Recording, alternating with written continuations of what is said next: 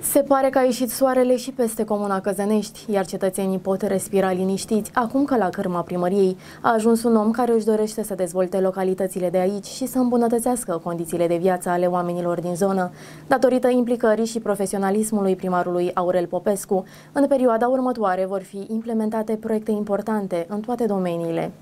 De când administrația locală din Căzănești este condusă de primarul Aurel Popescu, dorințele locuitorilor din comună au devenit realitate. Acesta a găsit o mulțime de probleme pe care comunitatea de aici le are, iar cei care au condus primăria până anul trecut nu le-au acordat absolut deloc importanță. Datorită implicării și profesionalismului primarului Aurel Popescu, anul acesta vor fi implementate proiecte importante privind sistemul de alimentare cu apă canalizare și stație de epurare din comuna Comuna Căzănești, dar și reabilitarea și modernizarea școlii generale unde lucrările au început deja. Vineri am semnat act adițional pentru suplimentarea sumelor uh, privind investiții pe Programul Național de Dezvoltare PNDL 2, privind sistemul de alimentare cu apă, canalizare și stație de epurare din Comuna Căzănești, care s-a suplimentat uh,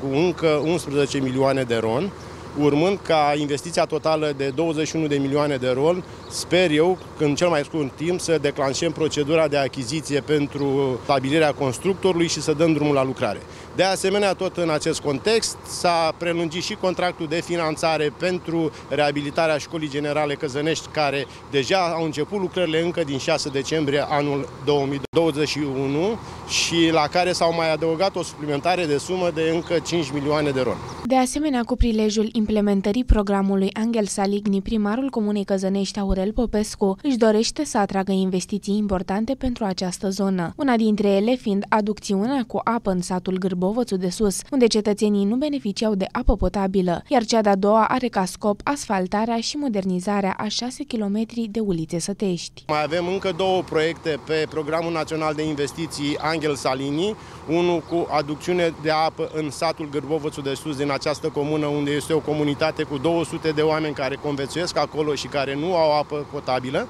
Uh, totodată am mai depus și un al doilea proiect pe acest uh, Program Național de Investiții Angel Salini privind asfaltarea și modernizarea 6 km de ulițe sătești pentru satele Căzănești, Valea Coșuștii și Iercea, care am înțeles de la domnul ministru al dezvoltării că în cursul lunii februarie se va face tot posibilul ca să se